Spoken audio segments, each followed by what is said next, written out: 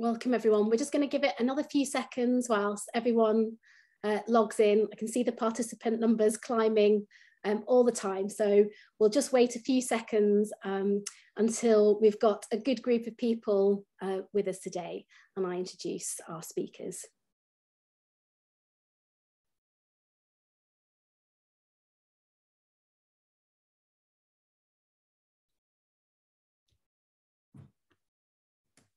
Okay, I think we'll make um, a start. Welcome everyone. My name is Sarah Turner. I'm the Deputy Director at the Paul Mellon Centre for Studies in British Art, which is a research institute and educational charity based in Bedford Square in London. Um, and you can find out all about our activities on our website. Um, welcome back if you attend our events regularly and a special welcome to those of you who are new um, to the PMC. This is an event in our summer research um, series, which is entitled Liquid Crystal Concrete, the Arts in Post-War Britain, 1945 to 1965. And there are still plenty of events left in this series. So if you enjoy today and would like to come back, some of the events are in person, but they're all uh, live streamed as well. Again, have a look on the event space on our webpage to find out about those.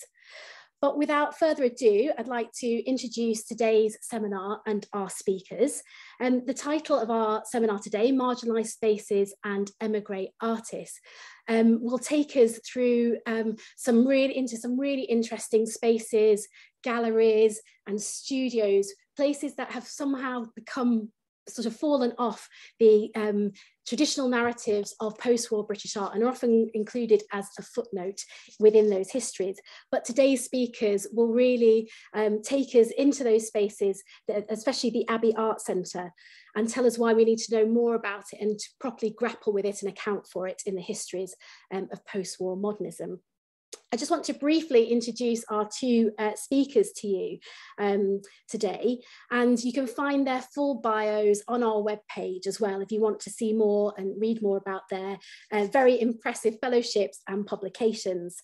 Um, our first speaker will be uh, Sheridan Palmer, and Sheridan is an art historian, curator, and biographer, and an Aus Australian Research Council Senior Research Associate at the University of Melbourne, where she's working on an ARC project, the Abbey Art Centre, reassessing post-war modernism 1946 to 1956.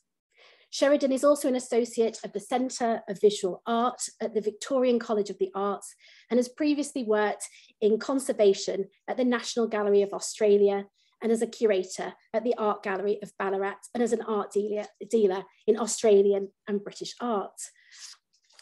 Our second speaker will be Jane Eckett, and she's an art historian, curator, and teaching associate in the School of Culture and Communication at the University of Melbourne, Australia.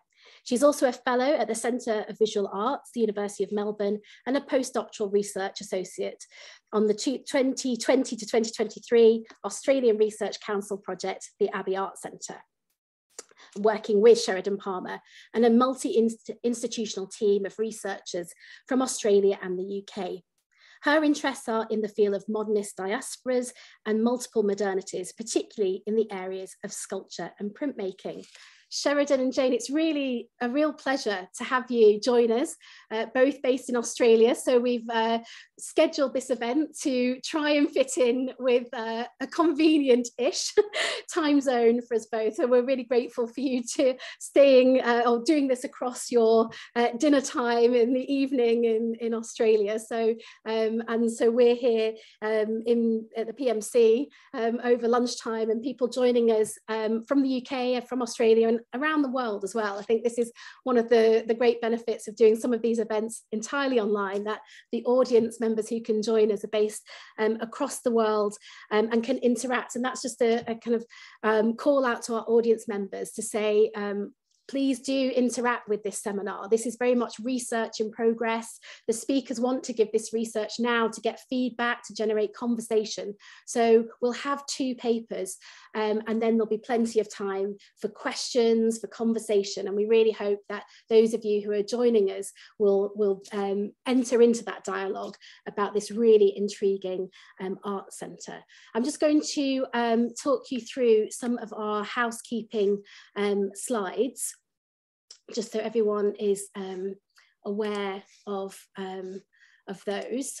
I actually can't see, oh, it's just starting, there we go. So, so we'll have um, two presentations followed by the Q&A and you can type um, your questions using the Q&A function.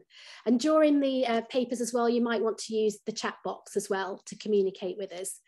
The session will be recorded and made available to the public via the Paul Mellon Centre's website after the event. And closed captioning um, is available as well. So you can enable that by looking at the CC live transcript button um, at the bottom of your screen. Okay, so without further ado, I'm going to hand over to Sheridan to share her presentation um, with us and um, just again say a very warm welcome and thank you uh, for joining us today, Sheridan. Thank you, um, Sarah. Um, oops, sorry, I'm just trying to get up my, bear with me.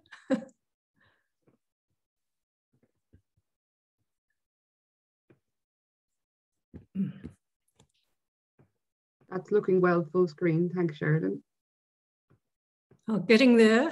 no, I'm going the wrong way. Sorry.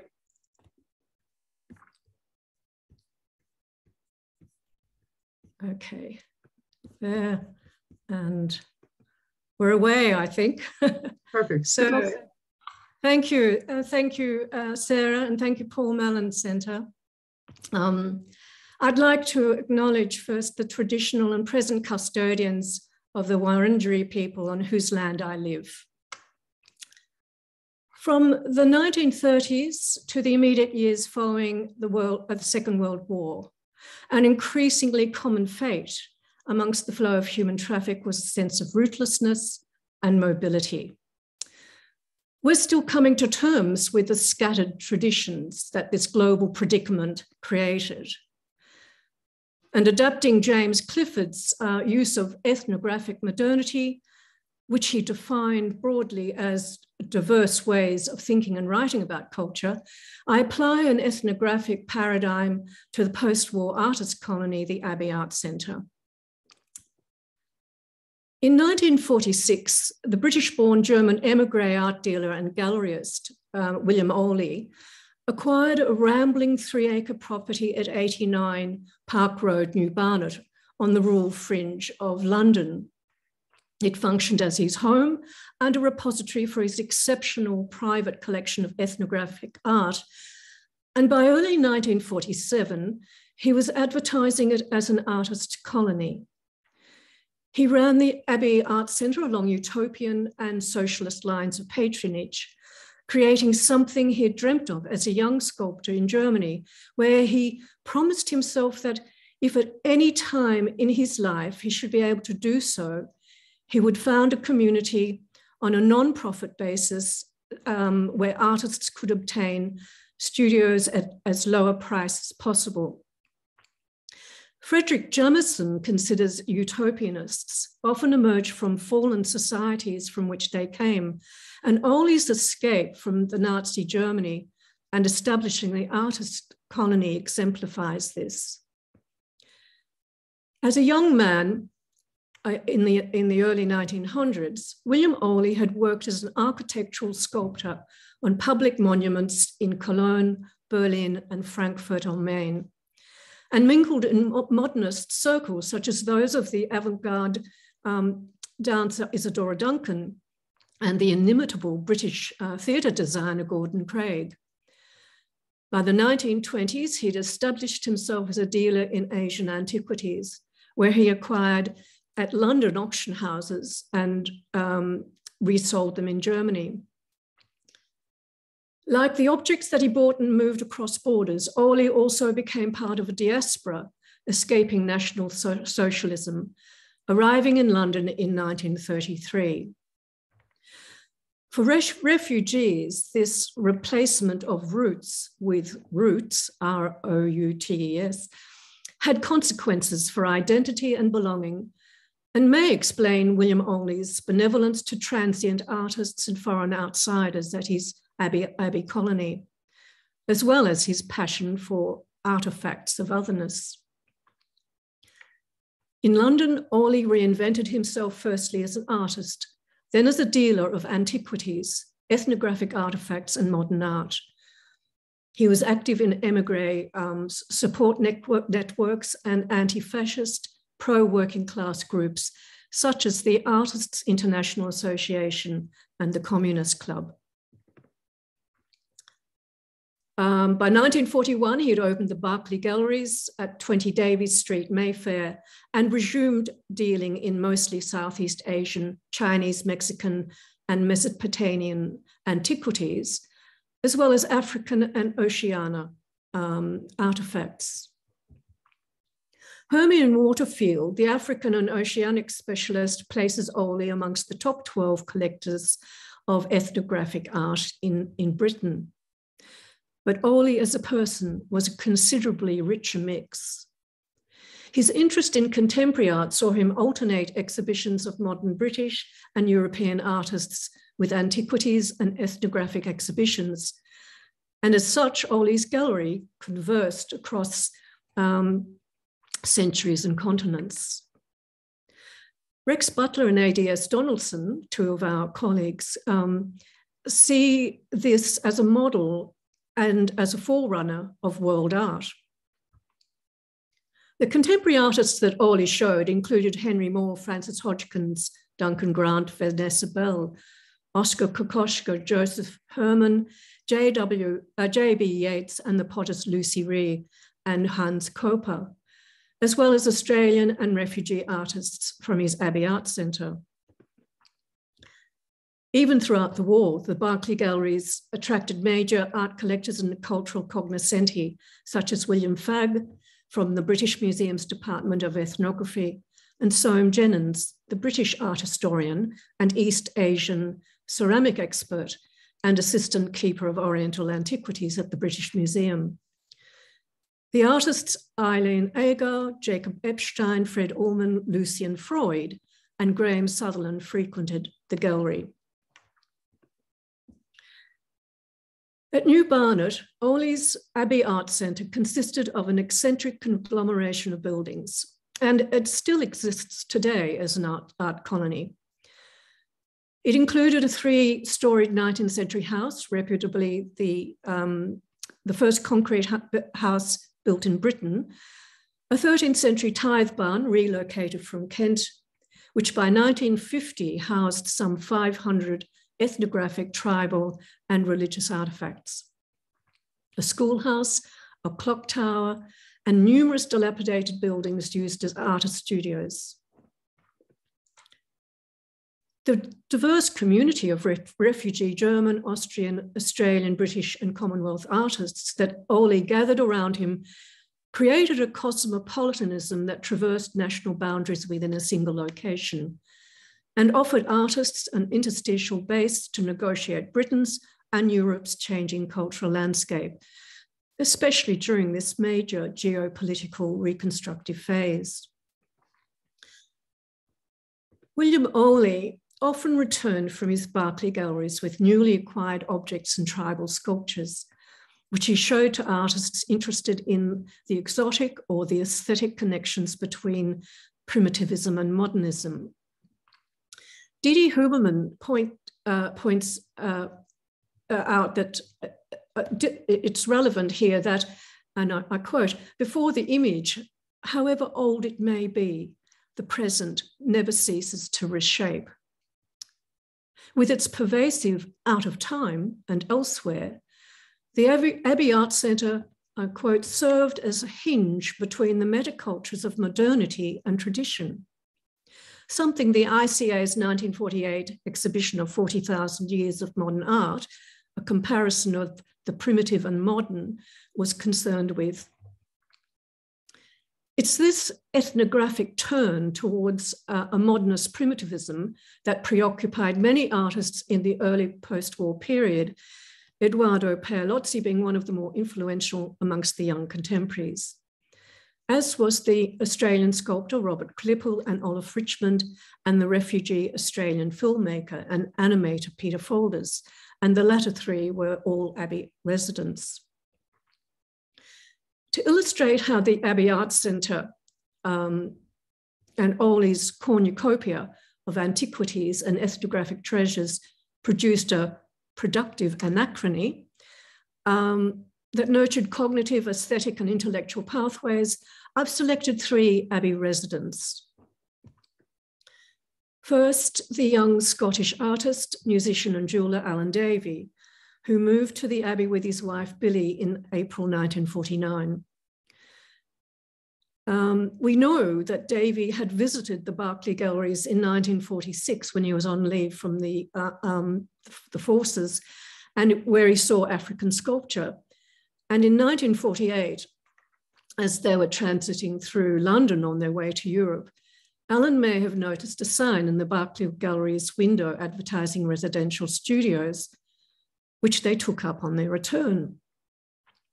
Surprisingly, there's scant reference to the five years that the Davies spent at the Abbey Arts Centre, even from Davie himself.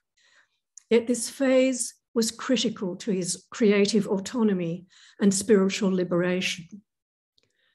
Ohly's tribal art, antiquities, and religious icons exuded a primal shamanistic magic that appealed to Davie's pan-sensuous instinctual urgencies and sacred fears and are powerfully evident in the gestural paintings Upsurge uh, of 1951 and Altar of the Blue Diamond, um, 1950. Moreover, the bucolic, uh, the, bu the, bucolic peripheral location of the colony, with its mystical ecclesiastical atmosphere, further complemented Davie's spiritual drives, where he said he could let his creative spirit roam freely. And it's worth mentioning that Ohly had purchased the property from a religious sect known as the Confraternity of the Kingdom of Christ, and several clergy continued living there until 1950. Helen Little suggests that these years were crucial for Davie's improvisatory process, where he delved into the unknown and his biomorphic forms celebrated a world of imagination and beauty at odds with the common view of alienation and disaffection of the post-war milieu. Further, the Aztec, Mexican, and pre-Columbian figurines that adorn shelves and cabinets in Ohly's house were also fertile sources for Davies jewelry, at the time his main form of income. with animal, bird, and human uh, motifs incorporated into exotic rings, pendants, and brooches. Reflecting on the importance of primitivist art in a later interview, Davie claimed, uh, quote, the things in art which are most moving for me are the arts of the so-called primitive people, art of other cultures and ancient art that have this dynamic quality, intuition, and a tremendous intensity. In the same year that Alan Day and Billy Davie moved to the Abbey, a young, destitute British artist of Irish heritage arrived. Philip Martin believed images transcended and transformed worldly meaning and materialism, and that the artist assumed the role of a spiritual archaeologist.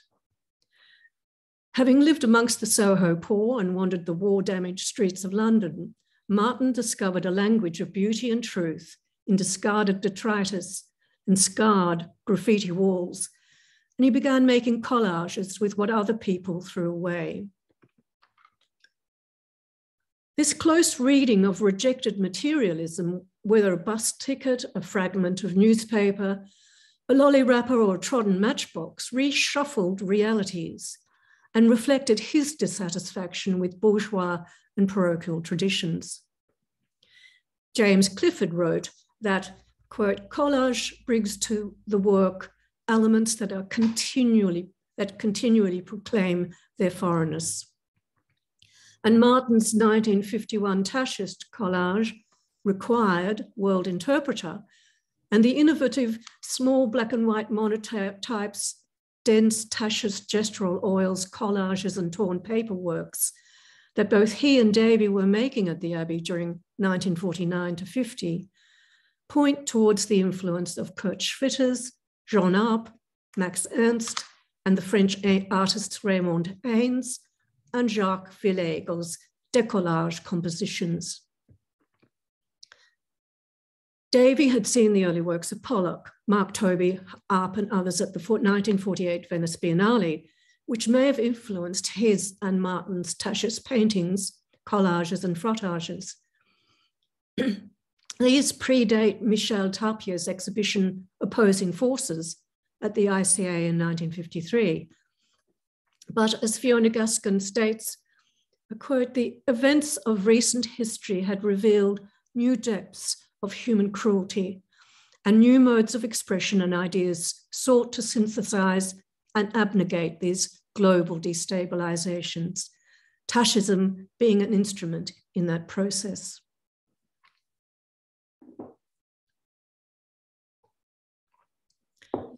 Inscribed in one of Philip Martin's early 1950s notebooks is a statement by the Hungarian French photographer Brassai. I could quote here Graffiti is the state of our civilization, our primitive art. Graffiti reaches the heart of the burning problems of our age.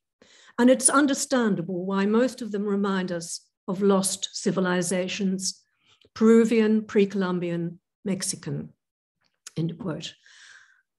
This existential reconfiguration belonged not only to the disenfranchised city wanderer, the romantic nomad, nomad but as Helen, uh, Hannah Feldman points out, to those for whom the experience of war motivates cultural production. Artists across all national terrains during and after the Second World War responded to this crisis. Henry Moore, Kokoschka, Paolozzi, and Schwitters spring to mind, and not only those visually expressing the pressures of decolonization. Philip Martin found refuge, close friendship, and creative stimulus at the Abbey, but Europe was to be his destination. His debt to Alan Davie cannot be overstated. Just as Peggy Guggenheim introduced Davie to the London art dealers Gimpel Fils in 1949, so Davie provided Martin with an introduction to Guggenheim in 1954. Gimpel Fils also included Martin in the 1951 summer exhibition, surely on Davie's um, recommendation. And in 1952, Michel Tapié included Philip Martin in his Un Art Autre, the publication on the free expressive anti-compositional artists associated with the art informel movement. Thereafter, Martin's career accelerated and he exhibited with many avant-garde luminaries such as Arp, Dubuffet, Matta, Vieira da Silva, Riopelle, and Tobey. Yet while Philip Martin and his partner, Helen Marshall, another Abbey artist, gained international attention, their common fate and constant movement and rootlessness eventually rendered them invisible to modernism's global and national art histories. My third resident at the Abbey Art Centre is the Australian art historian Bernard Smith, who lived there with his family between 1949 and 1951. Smith, who had been awarded a British Council scholarship to research the 18th and 19th century art of the colonial imperialist period, was exhaustively in investigating visual and written, written archives in order to fully understand the nature of European vision, the politics of contact and territorialism.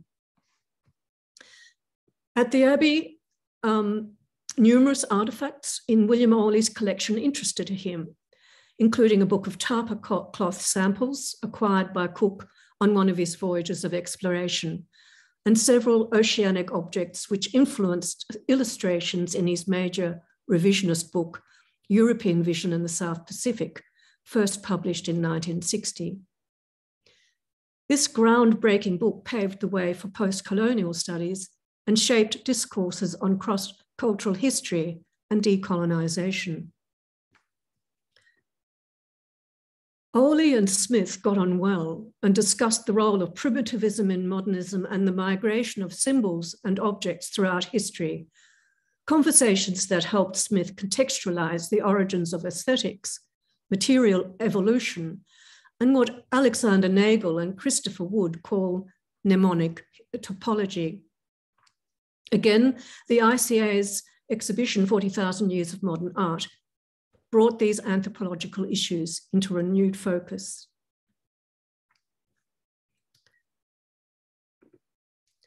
Displayed in Ohly's house was a ceremonial feathered helmet, once worn by a person of high command. It floats out of time and out of place, leaving speculation about a lost world. And while symbolizing the exotic other, it carried a narrative that raised questions of ownership, exchange, or the darker intervention of colonial dispossession. In one sense, the helmet exemplifies the Abbey's cultural predicament of outsideness and marginality which for many of the Australian and refugee artists resonated with the historical and contemporary perception of their geographic fate and dispersal. If William Ohly's ethnographic collection brought the ancient into the new, where images migrated anthropomorphically and temporal time disintegrated, it also provided a double provincialism that to varying degrees affected the Australian and the displaced European artists and how they viewed their past, their post national present, and futures. The ethnographic paradigm, so visually abundant at the Abbey, implicitly contained the assumption of alienation, with, uh, and here I borrow Hal Foster, um, over there, which maps into back then, and the most remote becomes the most primitive an imperialist narrative that Hal Foster argues is residual in much of art and cultural disciplines. Indeed, this historical hegemony preoccupied Bernard Smith, and he used it in his revision of the colonial past and the nativist past. So, why was the Abbey Art Centre overlooked? Given eminent artists and critics visited, Henry Moore, who lived nearby at Much Hadham, regularly dropped in to see Ohly, not only because he was interested in his friend's collection of archaic Aztec and pre Columbian artifacts, but he also secured a number of sculpture assistants, including the Australian Oliffe Richmond and the British Peter King. Jacob, Jacob Epstein, E.L.T. Mesens, Eduardo Paolozzi, William Turnbull, Lippy Lipshitz, Francis N. Souza, Gerard Dillon, the expatriate Australian writer Jack Lindsay, John Heartfield, the exiled Dada artist, the filmmaker Jean Renoir, and the art critic Maurice Collis, Cottie Burland, and Sir Kenneth Clark all visited. The profusion of networks that William Ohly and these visitors created makes mapping this creative community important. Yet if the Abbey Art Centre exemplified the here and the elsewhere, a condition of global modernity, it also represented a collage of cultural predicaments. Perhaps William Ohly chose to keep the Abbey marginalised, a private creative hub and a collector's paradise, free from the hands of institutional and bureaucratic regulation. He'd approached the British Council for a grant to establish the Art Museum, but the Abbey was obviously unsuited to the British Council's national vision, and nothing eventuated. Moreover, with Britain's post war reconstruction, rationing, and a constrained political situation, The Abbey, known as a haven for communists, may have further contributed to its marginalisation, especially as the Cold War intensified. By 1954, most of the Abbey's original group of artists had dispersed. All but four of the 21 Australians had returned to Australia. Alan Davie had moved to Gamel's um, studio at Rush Green, and only a few British and European artists remained at the Abbey as a new generation uh, replaced the old. When William Ohly died in 1955, this creative colony slipped further into cultural oblivion. To conclude, if art history is a field of constant revision, motivated by engagement with issues that have been ignored or marginalized by traditional approaches, then the Abbey Arts Centre rightly demands rehabilitation within the disciplines of art and cultural history, for it provides us with an important lens for reassessing transnational artistic experimentation and modernist post-war cultural production. For myself and the art historians involved in our Australian Research Council project, it enables a reassessment of Australian post-war modernism within an international context. Thank you very much.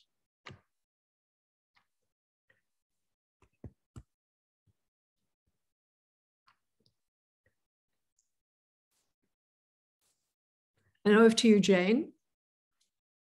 Thank you very much, Sheridan. That was um, fabulous. Um, right, I'm just going to share my screen.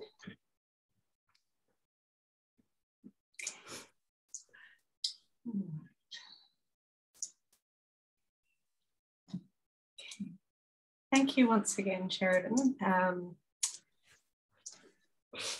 Following you, I too would like to acknowledge that I'm speaking on the land of the Wurundjeri people and wish to pay my respects to their elders, past, present, and emerging. Marginalisation can take many forms. The Abbey Arts Centre was, and still is, geographically marginal to London's museums and galleries in terms of its location in New Barnet. A 15 minute walk from Cockfosters Station then half an hour on the Piccadilly line to Bloomsbury, or 40 minutes to Mayfair. In 1946, when William Ohly purchased the Abbey from Father Ward, New Barnet was still part of Hertfordshire, yet to be subsumed into Greater London, and comprised a typical Victorian era railway suburb with orderly rows of detached and semi-detached terraced houses bordering a wide green belt um, to the north. The area boasted no other galleries or even artist studios, and so the Abbey was something of an anomaly, slightly separate and isolated from the surrounding community.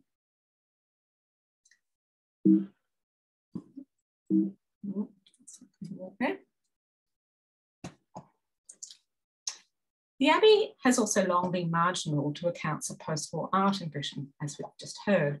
Though frequently mentioned in passing, it's often relegated to those outermost margins of the text, the footnotes. Why this should be the case is arguably because the majority of Abbey residents in the post-war years were foreigners, expatriates from the former British dominions, notably Australia, and European refugees from Germany, Austria, and Poland.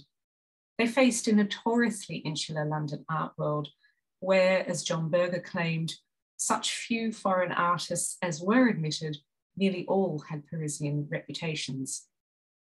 Since then, they've largely elided uh, histories circumscribed by purely nationalist concerns. And those few British born artists uh, who worked at the Abbey during this period, as we've just heard, such as Alan and Billy Davie, Philip Martin and Helen Marshall, were invariably barely out of art school and without gallery representation. So the Abbey years represented for them a period of struggle and obscurity that tended to be um, later downplayed in personal narratives. Furthermore, as we'll see, the sorts of art made at the Abbey varied enormously. Far from one prevailing style or philosophy, eclecticism reigned supreme. Cubism, Expressionism, Surrealism, Tachism, Social Realism, and Post-Impressionism were all deployed at the Abbey, often simultaneously. This eclecticism was matched by the Abbey's assortment of salvaged antiquarian buildings, which traversed, as we've already heard, temporal and spatial boundaries. So that alongside the renowned um, tithe barn, which we see here in the centre, um, you could encounter, for instance, a half timbered cottage, which we see here on the right, um, containing a reconstructed 16th century shopping arcade on the ground floor. Um, you could encounter a carriage house replete with 19th century carriages, um, a thatched uh, wattle and daub hut, and even uh, the remains of an African kraal. And these were all remnants of Father Ward's folk park. While this environment represented the antimony of modernism's forward facing aspirations, it was precisely the stimulus of the past for artists of the present that Ohly um, sought. And this architectural eclecticism was uh, matched by Ohly's personal collection of what we'd now term world art, displayed in the Tithe Barn which opened to the public in 1952 as the Abbey Art Centre. To quote from the museum's brochure, the collection included specimens from the South Seas brought back from Captain Cook's voyages, a cast bronze head of a prince from Benin in Nigeria, a Queen Mother's ceremonial stool from Ashanti, and a host of other interesting objects from the Australian Aboriginals, ancient America, Egypt, China, the Melanesian Islands, Africa, and Oceania.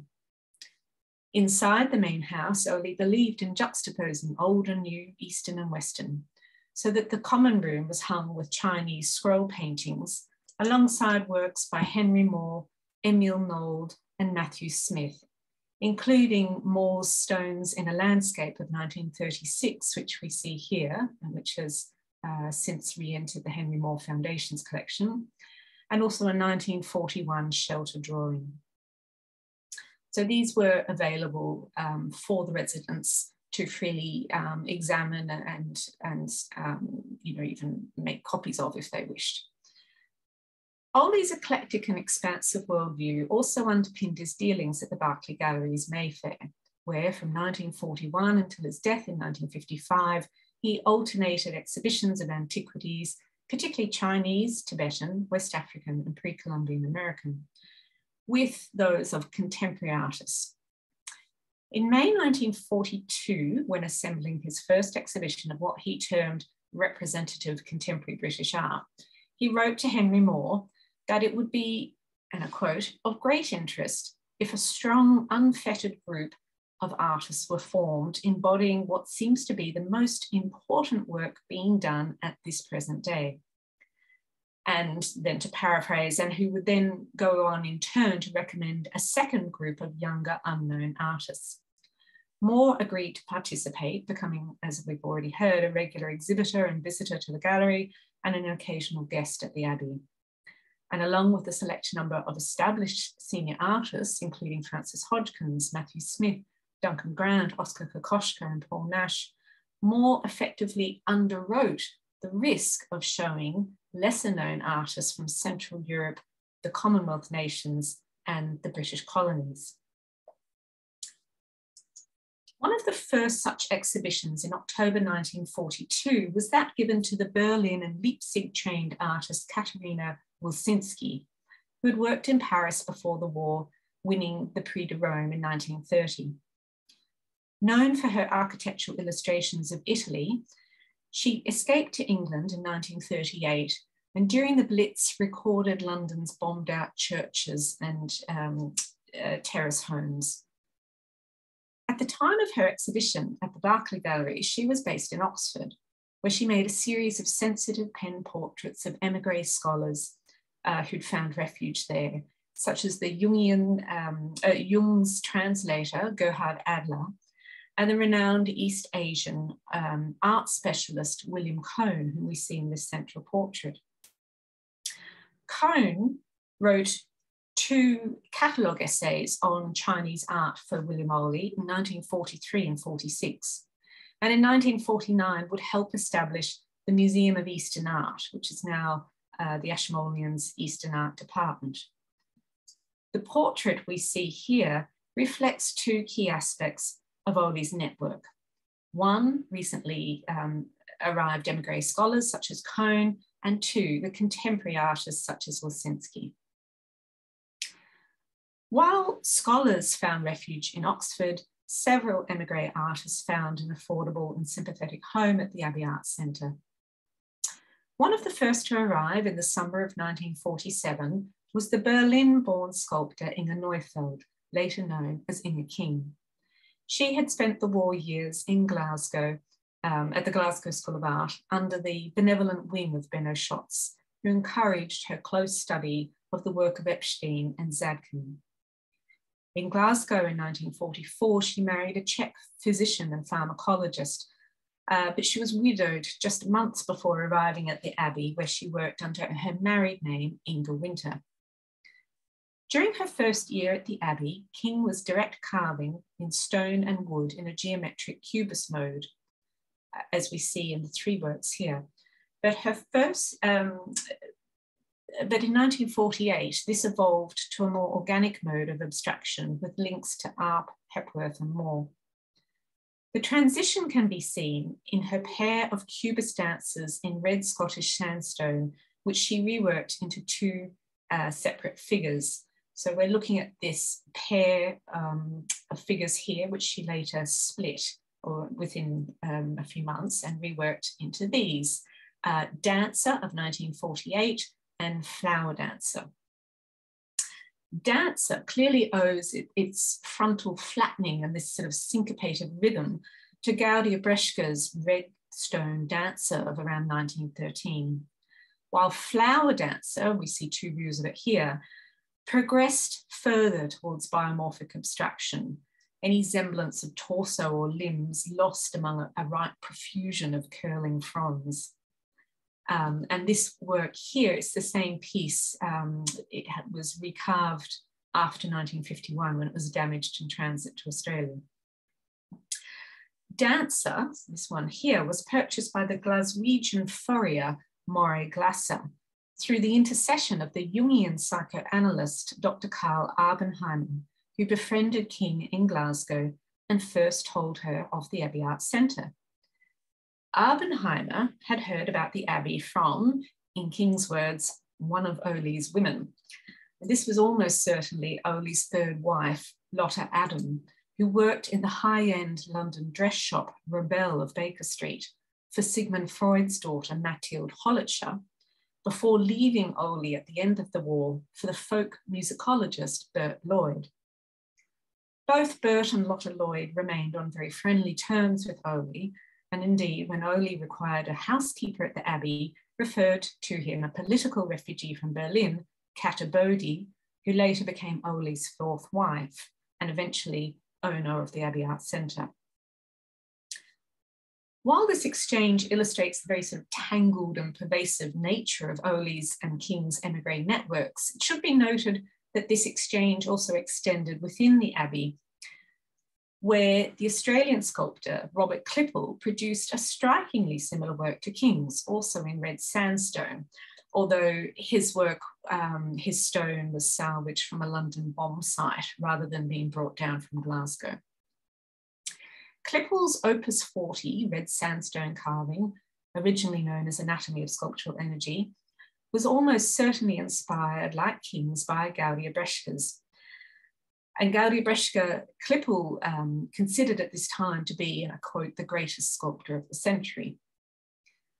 The shared interest in Gaudier-Brzeska's work, and in turn his source material, African art, was fostered in the rich context of the Abbey and the Berkeley galleries. In March 1950, after a year in Paris and New York, King returned to the Abbey and was soon engaged to the Australian painter printmaker Graham King, who had likewise returned to the Abbey after his own travels through Europe. Graham King, Alan Davie, and Philip Martin were then all experimenting with monotypes inspired by Paul Klee. Oh, sorry, I beg your pardon. Oops. Inge joined them producing her own series of monotypes exploring tachiste mark making. She also constructed at least one suspended mobile sculpture in wire and sheet metal, which was left behind at the Abbey and is now lost. but a surviving photograph in the centre suggests it probably shared more in common with Alan Davie's fragile ephemeral mobiles that he made at the Abbey out of grass stems than with Alexander Calder, as might be assumed when anyone says mobile, they immediately jump to Calder. Both Inge King and Alan Davie also produced around this time relief sculptures in clay cast in plaster. King's untitled reliefs from 1950 recall surrealist um, experiments in automatism and the sorts of biological systems that Davie uh, explored in his monotypes and paintings. Other reliefs retain vestiges of figuration. Impression from Autun Cathedral, 1951, reduced the Romanesque saints' figures to a series of intersecting lines and dots resembling insects, while Bird Machine, also from around 1951, evoked the sticking imagery of Klee's um, twittering machine of 1922. During this fertile period of cross-pollination at the Abbey, in June 1950, the Kings commissioned Davie to design and make Inge's silver and copper wedding band. Davie, as we've already heard, was then making studio jewelry. Oh, sorry, I keep using my wrong mouse, I'm sorry. Um, inspired by pre-Columbian art, which he studied at first hand in the British Museum, as well as at the Abbey and the Berkeley Galleries. And he was finding a ready market for his jewelry, um, unlike his paintings at the time. The design for King's wedding band exists in Davie's sketchbook of, jewelry designs. If I can use the right um, pointer, here we see there um, in, among his papers in the Tate Gallery archives, while the King family retain two versions of the ring, the first on the left here made by Davie, and a second slightly narrower and less worn copy made by King um, in Melbourne and stamped with her initials. Davie's example inspired King to likewise take up jewellery making in Melbourne where in the early 1950s, the market for sculpture was virtually non-existent. Many years later, in 1979, when Davie first visited Australia, he stayed with the Kings at Warrandyte and was present in their living room when fellow Abbey resident, James Gleeson, visited the Kings and interviewed them for a National Gallery oral history uh, project. The impact of the Abbey continue to be felt in each of their lives decades after their years of residence. Another Jewish emigre or refugee artist who found shelter and encouragement at the Abbey was Helen Grunwald.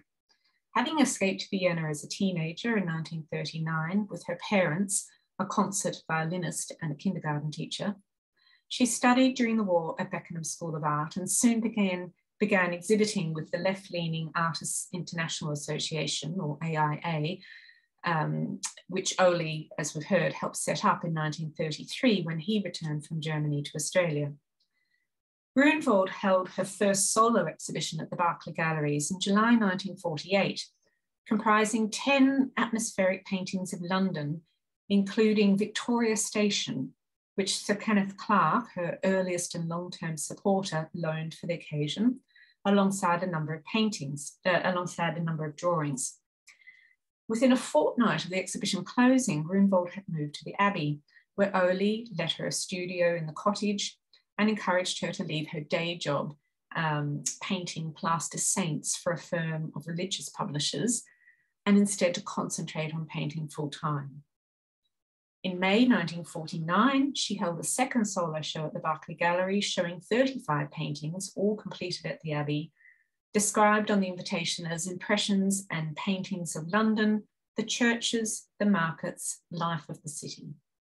The exhibition was a success with Clark purchasing from it several works and Eric Newton offering his personal congratulations. Grunwald's school friend from Vienna, Angela Varga, first visited the Abbey in early uh, 1950 and was introduced by Grunwald to Kenneth Clark, who purchased two of her works and, and wrote her a reference that gained her admission to the Slade. Varga returned to the Abbey in October that year to study printmaking and painting at the Slade and mural painting at the Central School, filling sketchbooks in her spare time with observations of Billingsgate Fish Market and Smithfield Meat Market. Returning to Vienna in 1953 after her studies, she remained in contact with the Abbey, both through Grunwald and through her sister Kate, who married another Abbey resident, the young British sculptor and avant-garde filmmaker Peter King, who died so prematurely in 1957. A few years later, Varga attempted to raise the Abbey's international profile by arranging a series of exhibitions of Abbey residents' works in Rome and Vienna, though the exhibitions were ultimately never realized. The Abbey was more than merely a residential community. It attracted a steady stream of visitors, as we've heard from Sheridan, and these in turn opened further avenues into the London art world. The late South African poet, artist, curator, and latterly architect, David Lewis, who was then living in St Ives, visited the Abbey in 1948 and there introduced the Australian sculptor Robert Klippel to his friend from Cape Town, the Lithuanian emigre and fellow sculptor Lippy Lipshitz. Klippel and Gleeson regularly socialised with Lipshitz in London and attended the opening of his acclaimed exhibition of carved sculptures at the Galleria Apollinaire. Epstein and Moore, as we've heard, also visited, as did Bernard Meninsky, we see here, um, he, who many of the Australians studied with at the Central School, and the German anti-fascist photomontage artist John Heartfield, whom Noel Counihan recalls meeting at the Abbey. And later in the 1950s, Peter King met the Goanese uh, iconoclast Francis, Francis Newton Souza at the Abbey. A similarly diverse range of artists, many of them refugees from Hitler, exhibited at the Berkeley Galleries. In May 1949, visitors to the gallery could see the work of three artists in addition to Grunwald. The Swiss artist, dramatist, and translator Georgette Boner exhibited her illustrations to the Chinese classic Monkey's Pilgrimage, which she translated from Arthur Waley's English edition into German for a recent Zurich edition. Arthur Mackenzie, later known by the adopted name of George Kempson, showed direct carved sculptures in stone and alabaster um, inspired by Epstein and Gaudier-Brzeska, as well as by African and oceanic art. And the young German Jewish uh, emigre, Milein Cosman, showed drawings of dancers and musicians. This was Cosman's first exhibition, which came about through her having been at school with Ohly's son Ernst in Geneva just before the war. The combined invitation to all four galleries we see here billed Grunwald and Cosman as, as a quote, as two artists, two young artists of promise being presented by the Abbey Art Centre. Despite Cosman having never been an Abbey resident, indeed, she and Hans Keller um, had by then just settled in Hampstead. So this suggests that the Abbey was more than just affordable studio accommodation. It was also a platform from which to launch unknown young artists into London's art world. The Berkeley Galleries provided that all-important launch pad for many Abbey residents. A group show in July 1949 presented Helen Grunwald and Inge King, who was then still going by the name of Inge Winter, alongside the Australians James Gleeson, Peter Graham, Graham King, Robert Klippel, Max Newton and Mary Webb. However, this was not an entirely Abbey show. It also included sculpture by Henry Moore, Karin Jonzen, uh, who always struggled to get gallery representation, and the emigre sculptors Fred Kormis and um, Uli Nimptsch, as well as paintings by the Irishman Gerard Dillon, who was also a frequent visitor to the Abbey, and the South African Enslin uh, du Plessis, who was a friend of Duncan Grant's. Furthermore, it featured Fred Uhlman's pastels of Wales and Morocco, the inclusion of Uhlman's semi-naive School of Paris landscapes is significant because Uhlman was also an, uh, one of a number of Jewish and emigre artists, including Epstein and Josef Herman, who collected African art and were regular patrons of the Berkeley Galleries. Uhlman lent several works from his collection to Ohly for his first Art of the Primitive Peoples exhibition in 1945, including um, this figure we see here, uh, which Uhlman um, later featured in a still life painting of around 1952. A second group show of Abbey artists held in December 1952 heralded the arrival at the Abbey that year of the acclaimed animator and silhouette artist Lotte Reiniger and her film director husband Carl Koch. Reiniger and Koch most likely heard about the Abbey through their friends, the Frischmans. Marcel Frischmann had been a cartoonist and contributor to Simplicissimus in the 1920s, while his wife, Margaret Krock Frischmann, studied printmaking, painting, and sculpture in Leipzig and Berlin. The Frischmanns had fled Germany in 1933, living in Denmark and Belgium before spending the war years in Melbourne and settled at the Abbey in 1951. They, in turn, knew of the Abbey either through news of Melbourne artists Newton and King, who had by then returned to London, or more probably through Katerina Wilczynski, who was a good friend of Krock Frischmann's and indeed had, like her, studied in Leipzig and Berlin. Yet, aside from these two group shows, the only Abbey residents to hold solo exhibitions at the Berkeley Galleries were Helen Grunwald and Mary Webb. The invitation to Webb's exhibition in 1948 announced it was the first exhibition of the series, Artists of the British Commonwealth, Australia, Mary Webb of Sydney. So Ohly evidently intended to continue with further exhibitions of Commonwealth artists, drawing from his pool of Australian Abbey residents, but the envisaged series never eventuated. This was likely owing to the exhibition's poor reception, with the Times finding Webb's work overly robust and lacking in delicacy, and Eric Newton uh, damning her effectively as a minor artist, neither skilled professional nor truly naive painter, lacking a tradition of craftsmanship and condemned to being an, and I quote, an earnest, admirable groper. So Commonwealth artists were thereby um, deemed lesser byproducts of the British art system, um, imitative and essentially lacking any tradition. In contrast, Afro Caribbean and South Asian artists from countries still under British colonial rule were presented as colonials and attracted enormous interest. Between 1947 and 1955, the eminent Nigerian modernist Ben Enwonwu held five solo shows with the Berkeley Galleries, where his work was acclaimed by critics such as Eric Newton and Maurice Collis, who were both friends and stalwart supporters of Ohly's and from where Jacob Epstein bought two works, including Enwonwu's um, Yoruba Girl of around 1946. At the time of his first Berkeley Gallery show in 47, Enwonwu had just graduated from the Slade, was engaged in post-diploma studies in anthropology through University College, College London, um, working with the British Museum's collection, and on completion in 1948 would be elected a fellow of the Royal Anthropological Institute.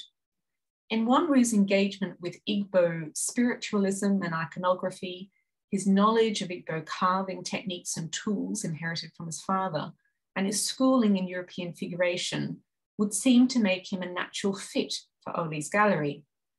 Yet I'd suggest this was a precarious platform on which to exhibit.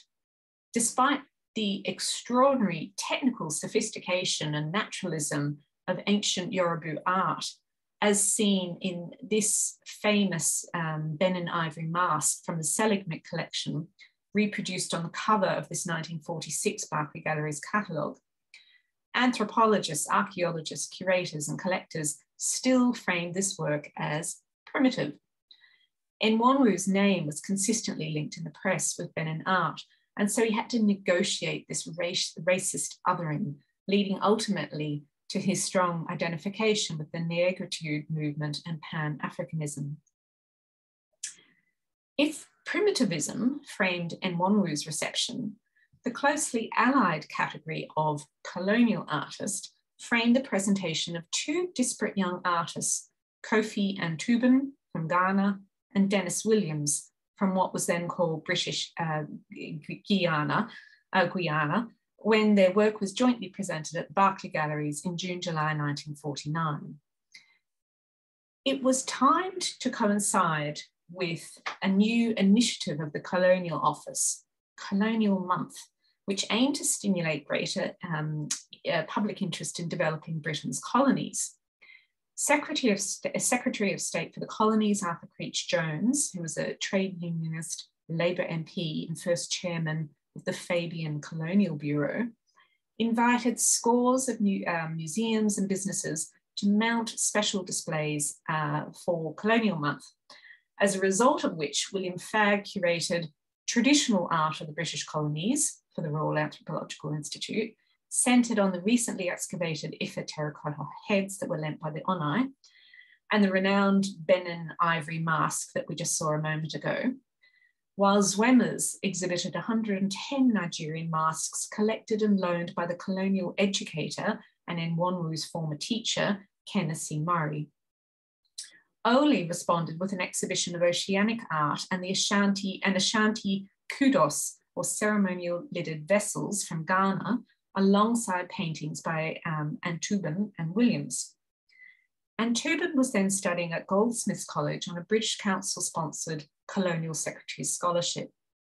He had already uh, completed seven years study at Achimota College in Accra, Ghana, where from 1937 he'd worked closely with the Russian Jewish emigre sculptor from South Africa, Herbert Vladimir Meyerowitz, who encouraged Antubam's study, study of Ghanaian ethnography.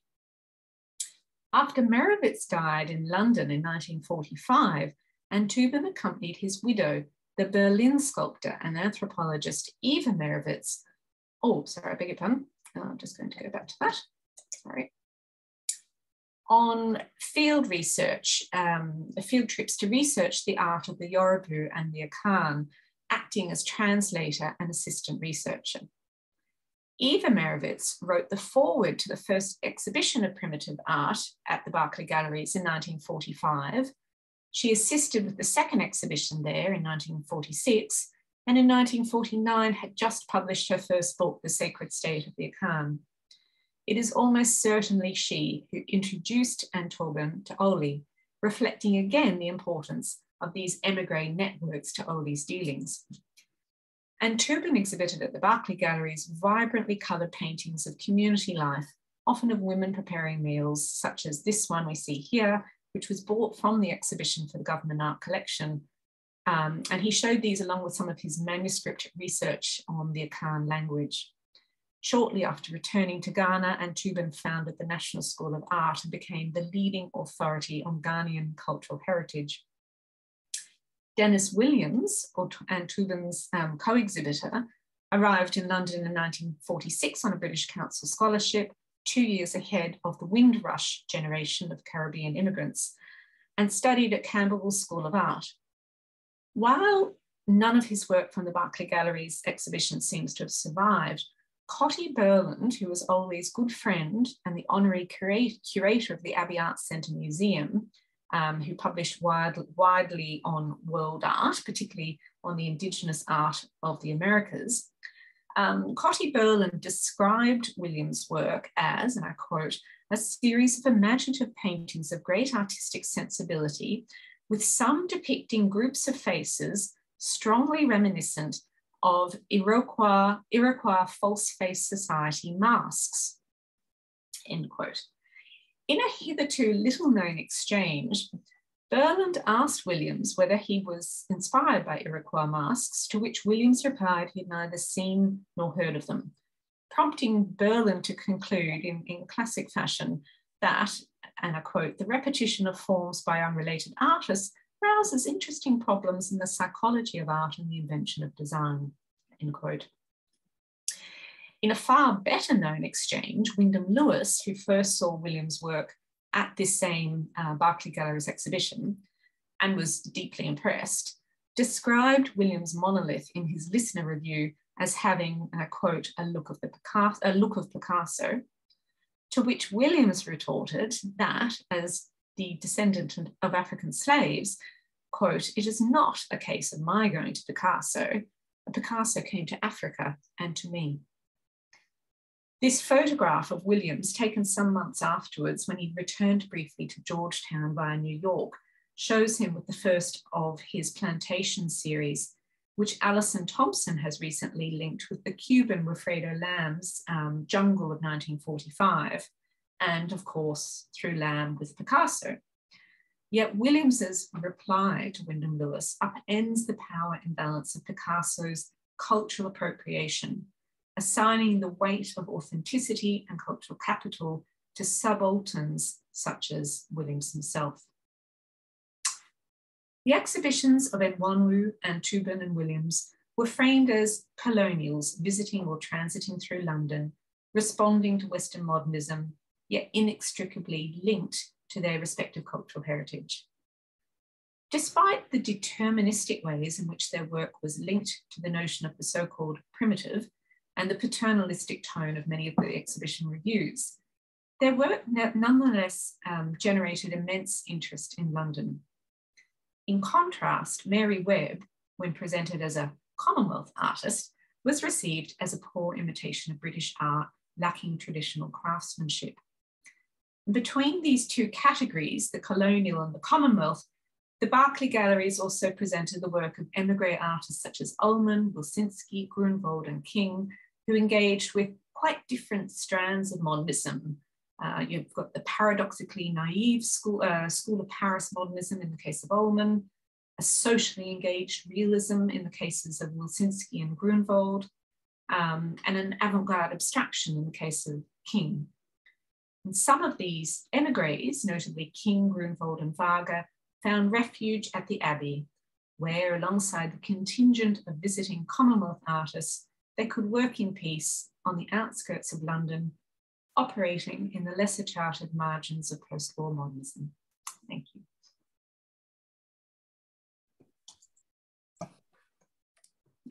Just need to escape out of that.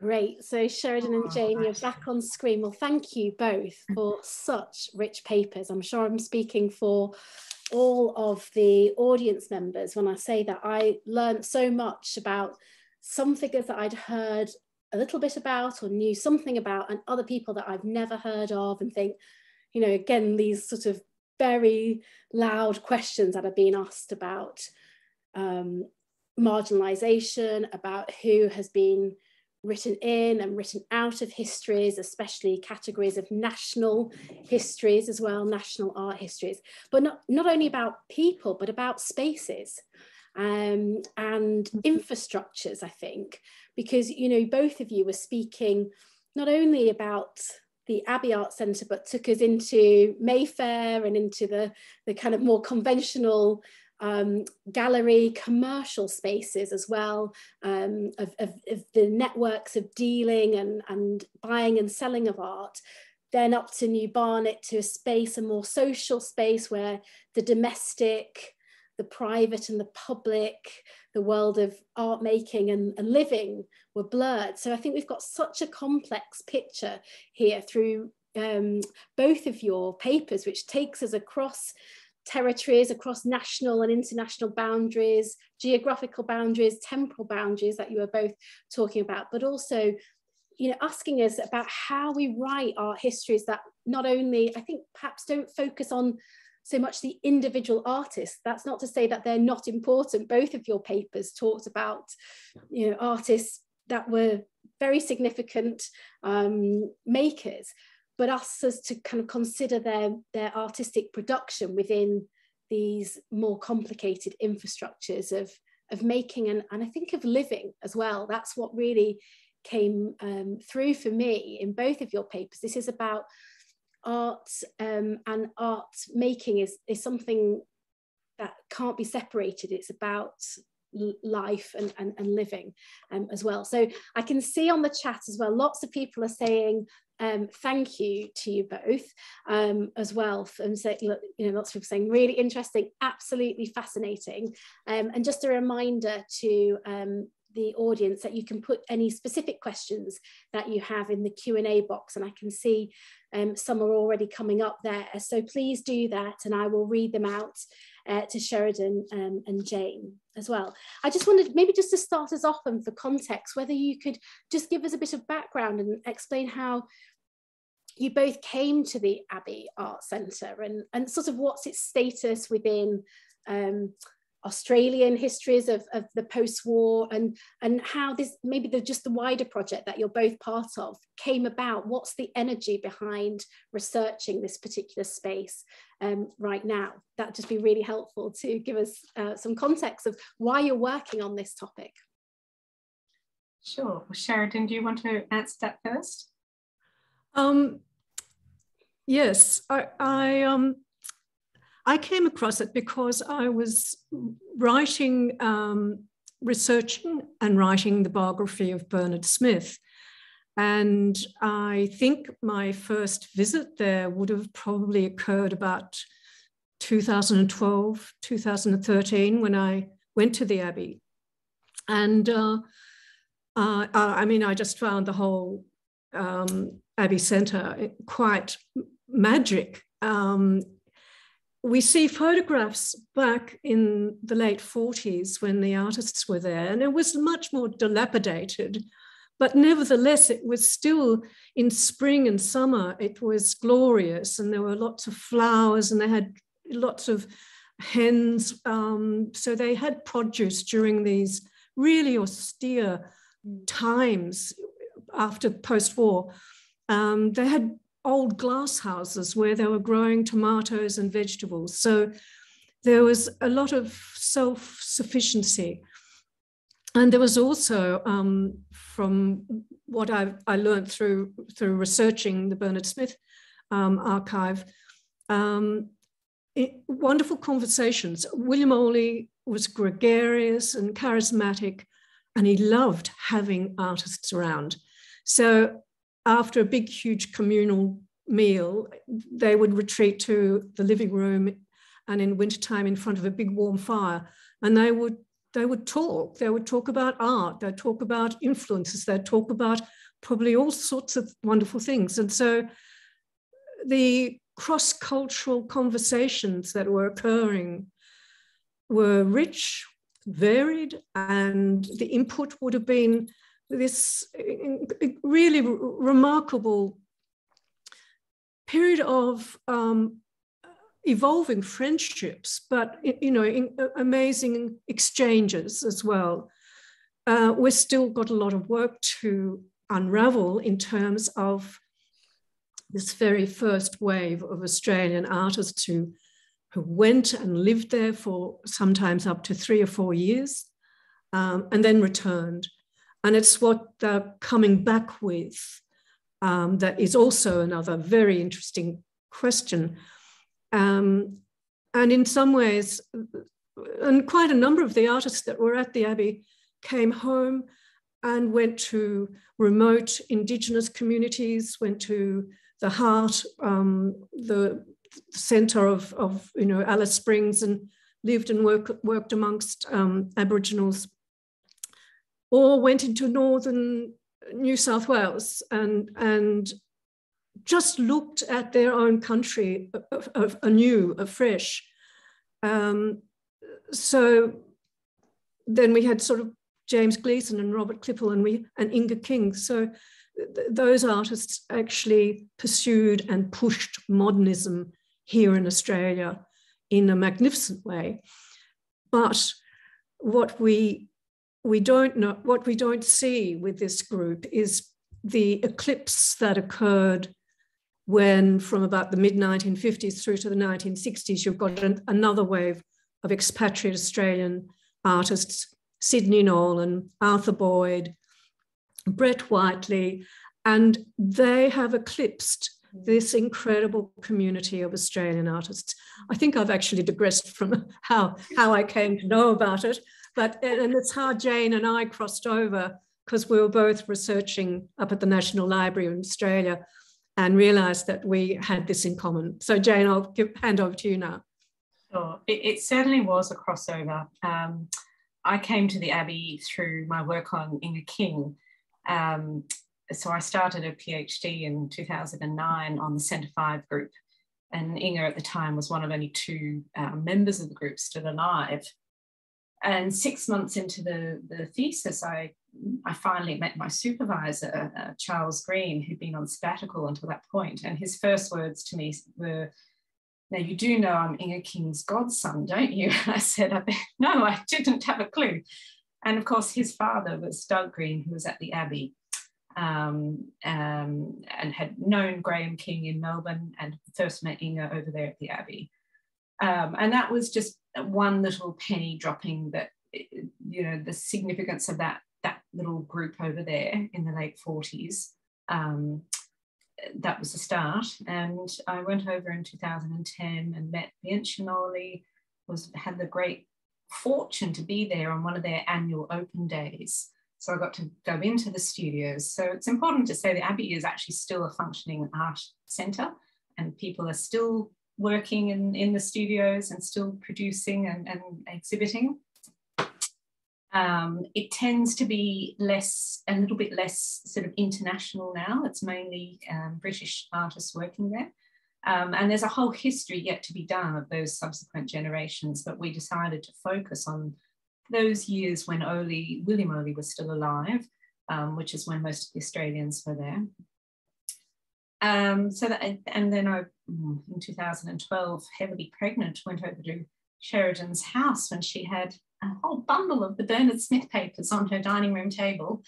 And we went through them to comb through all the bits and pieces on, on, on the Abbey and compared notes. And that was sort of the start of this project. It's been That's going wonderful. on for quite some time. Yeah, Here it's that's the prehistory. Sort of, yeah, generating these, uh, you know, collaborations and friendships and relationships as well through through research. Um, I'll, I'll read out one of the questions that we have, um, and this is from Rosamond West. Um, and Sheridan, I think this is particularly to uh, uh, you and a phrase that you use in, in your paper. Um, and, and Rosamond said she's particularly interested in what you describe as a double provincialism. Um, could you mm. talk a little bit more about that phrase?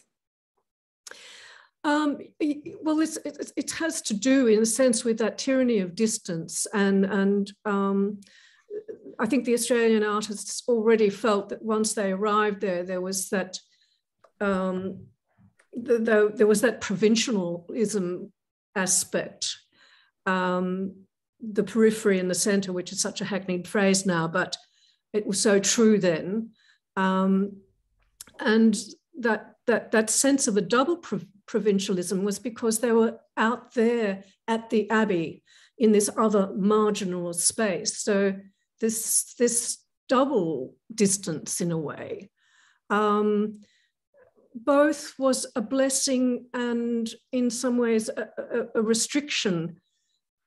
A lot of other Australian artists, and there were a lot of Australian artists in London in these immediate post-war years, um, they felt the need that they needed to be right in the centre. Um, perhaps access to the galleries and all of trying to find what was going on. But you know, it, it was a, an hour's train ride from Cockfosters into to, to London. They would go in for the day, and they a lot of them went in regularly. They would go to to films, to theatre, um, to the galleries, do the gallery rounds. Um, and and Robert Klippel, for example, he when he would go into the Slade, he in his diary he said, "Terrible day, terrible day. And he'd retreat back to the Abbey where he said, This is where I want to be. This is where I've got the freedom to explore and experiment. Um, and he, he, I mean, while he, he met Eduardo Paolozzi and William Turnbull um, very, very early after he arrived in London, um, the Abbey seemed to be the the space, as you said earlier, um, the space that gave him the freedom, and similarly, Davie, the freedom to roam creatively.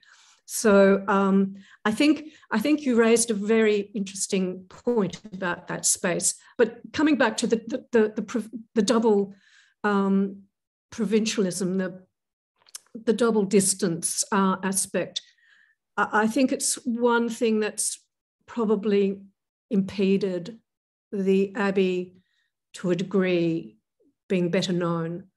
Um, it still concerns me why uh, it's been left out and not written into histories because William Ohly was such a highly respected um, dealer, um, very much admired and loved. Um, and he he was generous. He you know he had um, I think a, a, weekly luncheon at the at the Berkeley Galleries where people would come in and have coffee and uh, Fred Uhlman and um, Jacob Epstein and a lot of people would come and, and so he was he was really well known, but he seems to have fallen off too.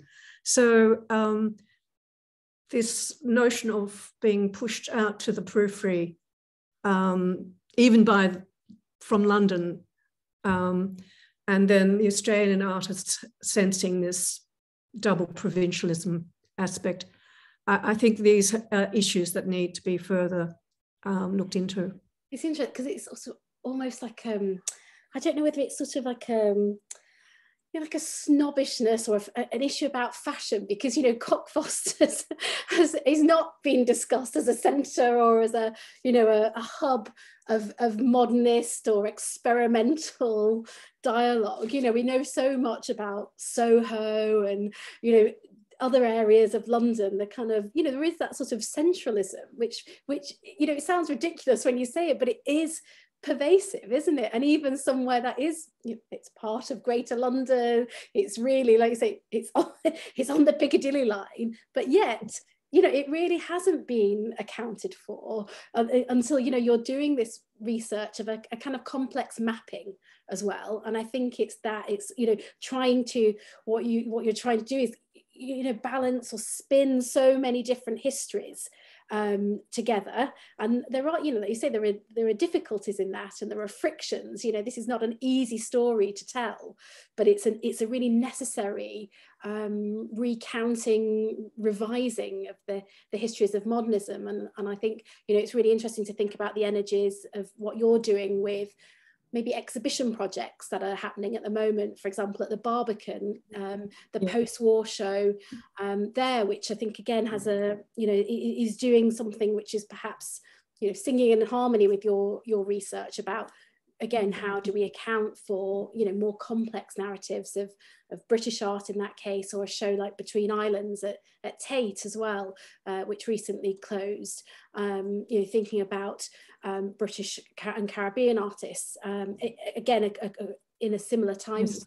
period as well. So I think, mm. again, there's, there's, around these projects about um, revisionism, which is not just adding more names in, but is really asking questions about how his, the, you know, the histories of modernism have been written around, you know, these problematic phrases like mm. you, of minor and major, um, mm. and, and, how mm. we how we kind of release ourselves and, and kind of imagine a different kind of, of history as well. I think, you know, these are really massive questions to grapple with. I have to say, um, it was very much visiting the exhibition of the Barbican that made me, um, and, and a few other exhibitions visited in London recently, that made me probably more alert to these tiny fleeting references I was picking up in, you know, hour upon hour of trawling newspapers and um, any mention of the Berkeley Galleries, what shocked me was that I was completely unaware of these exhibitions, like I was unaware of Colonial Month. Um, and it really has only just recently dawned on me that they were two very different things. A colonial artist was quite different to a Commonwealth artist. And yet you could think it was just a stage in um, where their nation was at in terms of independence. Um, but it also came down to um, a, skin color. It came down to a whole myriad of different um, issues. But what amazed me was no one talks about those exhibitions at the Berkeley Galleries, whereas we do know all about, you know, his these dealings in primitive art. Um, but there's there's a lot more work to be done and then it dawned on me that I thought, well, why were those artists not staying at the Abbey? Why did Dennis Williams not, why did he stay in Hampstead and not out at the Abbey? Um, and these kinds of questions. Um, Lippy Lipshitz visited many times, but to him, Chelsea was the only place to be. He had a, he'd been in London 10 years previously, and to him, the art world was Chelsea. So he wasn't, you know, New Barnet. Mm. But um, yeah, it's it's interesting, and to to put these artists in relation to our little contingent of Australians, I think raises these interesting questions: why one is elevated and the other's not, and vice versa. Anyway. I think that's a, you know, and those questions about the relation, empire, imperialism, decolonization, independence, race, racism within the art world. That you know, these are really kind of, you know, I can feel from what you're saying, Jane. You know, these these questions really kind of um, yeah causing this you know the, the frictions that you you need to kind of um, address and, and, deal with to kind of fully account for the Abbey Art Centre. That just um, links to a, a, comment I'll just read out by uh, the curator Sarah MacDougall, who's done a lot of work on emigre um, mm. art histories and art historians, particularly uh, Jewish artists, and just uh, you know fascinating and complementary papers, neatly interweaving narratives of emigre artists with that of the Abbey Art Centre and the Berkeley Galleries, and with Ohly himself against a fascinating backdrop of colonial and post-colonial perspectives. And I think that just sort of again neatly encapsulates this need to to really think about. Um, these um, connections that you were bringing out, Jane, there between colonial, Commonwealth, but also then in connection with emigre um, artists and, and, and, really think about um, these um, the connections, but also the stark differences um, as well. I want to just make sure we get in as many questions um, as we can. As I said, these are great opportunities to, to hear uh, research as it's in progress and, and, and emerging. So we have a question here from Kirsten Knight, who says, um, who asks, when the emigres came back, did they set up similar artist colonies in Australia that were perhaps modelled on the Abbey? Um, Sheridan, do you want to take that or? Um, I, I will, I'm not sure whether they actually did. Um, the only thing we did note was that um, Graham and Inge King, um, when they had a, a, a, modernist house built out in the in the bush, um, they painted their beams dark and the walls white. And there was a sort of a sense of, of the tithe barn aspect. They started collecting um, some tribal art or primitivist art, artworks and also um, ceramics. Uh, and, and Bernard Smith started collect, a collection of ceramics. Um, De Alan Davie later on was a collector of um, tribal artifacts. It's like as though what they were exposed to at the Abbey, they sort of emulated in their lives.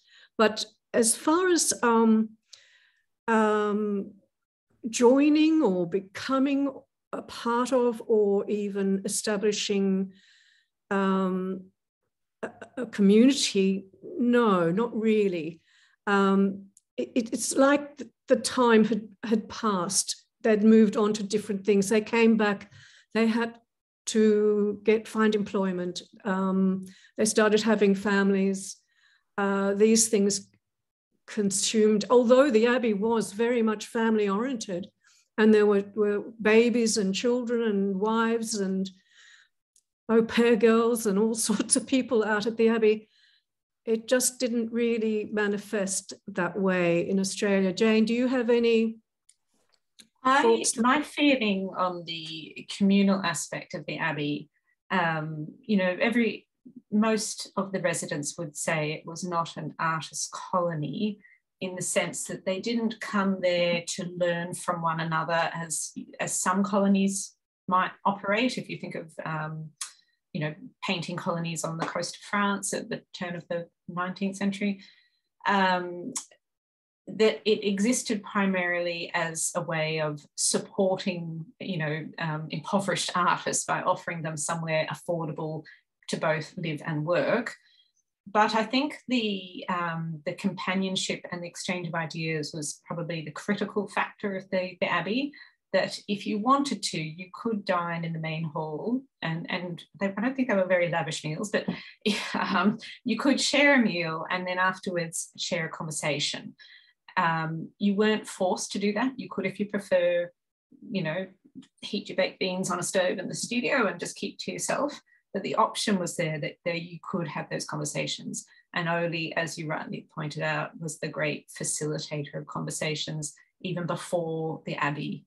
Um, you know, in his various different studios in, in South Kensington and Chelsea, um, he would have a weekly salon and you'd come and have your cup of tea and he'd play some records on the gramophone, you know, the Bach or something. Um, and, uh, you know, people met future husbands there. And, you know, it was a very social affair. Um, I think and another point. Thing, sorry. Oh, sorry. Sorry. I was just I was going just to say, the other thing I think is that when they did come back to Australia, by 1955, 56, we've got a, a major internationalism going on with the Olympic Games. And so I don't think artist colonies were seen as being particularly um, part of that modernist thrust.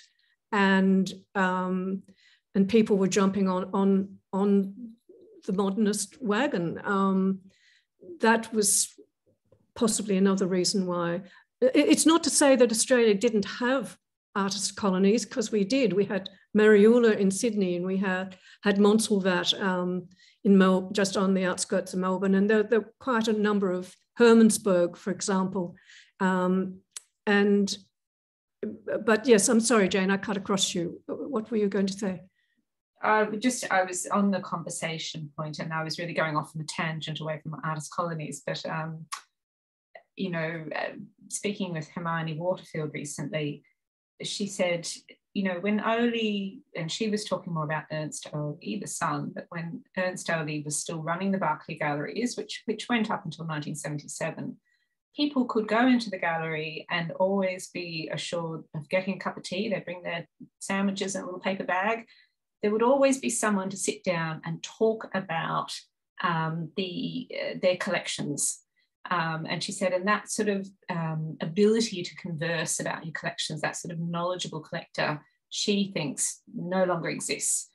Um, but that ability to talk about art, whether it be your collection of Benin bronzes or whatever it is you're collecting, um, that ability she feels, feels is lost. And yet that's an ability that that William Ohly certainly cultivated um, and, and relished and was so much part of his motivation uh, uh, on top of the sort of social utopianism of the Abbey of being able to help artists wherever possible. That was what fed him, those conversations about art, and that's really what fed him, I feel. Yeah, I think that's the, the sort of social experience or the socialization um, mm around um, around practice seems to yeah again come out really clearly. And as you were speaking as well i was just thinking you know it feels like there's a really important piece of work to do that maps or connects or you know takes account for these spaces that were created that gave um, a home sometimes quite literally in the, the domestic sense of a place to you know rest your head and live but also a, a home from um, a place to kind of of display and um, to be nurtured and, and, and your artwork sort of cared for and, and, and sent out into the world. I'm thinking, you know, particularly uh, places like the Drian Gallery set up by um, Halima a, a Polish artist um, herself, and who was also involved in the establishment of the, the New Vision Centre as well, uh, with Denis Bowen and places like Gallery One with Victor Musgrave and again you showed um, a photo of Souza, important for um, artists from India and Pakistan in, in this period. Galleries like Signals, um, David Medalla, and um, again, I think you know there's been a, a lot of new research on this these these galleries um, and perhaps individually, but it feels as well about you know connecting up some of these narratives as well which gives us this much more sort of complicated you know cosmopolitan modernism to think through Kobena Mercer's work as well about, you know, again, really accounting for um, the, the, relationships between empire, colonization and decolonization with our, within our histories of, of modernism. So I think we've run out, or we've just we've gone over time because there's so much uh, to say and so much to discuss, and I feel like um, it's the beginning of, of conversations between between us here at the PMC and, and your your research project um, in Australia and, and with um, you know, the audience members who've really so kindly joined us today to be um, part of this um, this event. And maybe Jane and Sheridan you've just got a moment or two so if you look in the chat you will see um, the thanks and uh, the gratitude that people have uh, sent your way for such um, a fascinating stimulating whether it's lunchtime dinner time or whatever it breakfast time wherever you are um, in the world. Um, but I think we just want to say you know huge thanks for sharing that research um, with us. Really fascinating. Um, and I think connects to not only this uh, larger seminar series um, that we're running at the PMC, but we have a collaborative um, symposium next week, which we're running with colleagues at the Barbican um, uh, and a symposium called Strange Universe, which again is exploring um, many of the same kind of ideas about a, a reframing of um, post-war modernism and, and histories and really thinking about how exhibitions are, are restaging those, how art historians and artists are, are, are grappling with those uh, narratives now. So um, if you can get to London, um, please do join us for that. If you can't, we will record it and again um, share those um, uh, events on our website. So thank you so much, Sheridan and Jane, for really stimulating, rich, um, period of time with you to hear that research. And I hope it was useful for you too as well um, to do to share that research with us. It was great. Absolutely great. Thank, Thank you. you. very much. Thank great. you. So thanks everyone for joining us. Thank you. Bye.